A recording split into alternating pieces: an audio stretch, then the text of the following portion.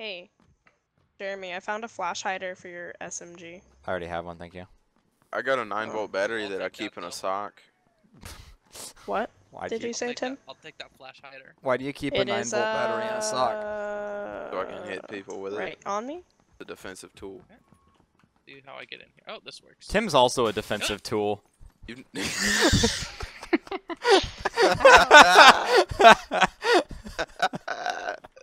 You... Sounds like a day where everyone bashes Tim. Every day's the day where you bashed him, dude. Uh, this Okay, is such Tim, a I good joke. It's That was fun. a- interesting That was person. premier roast. It's funny because it's actually a good description of Tim, not just a use of the joke. Excuse me?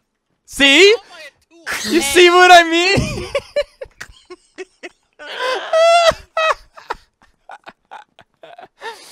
Uh, excuse Ooh. me, you indignant little shit. Good times. Uh,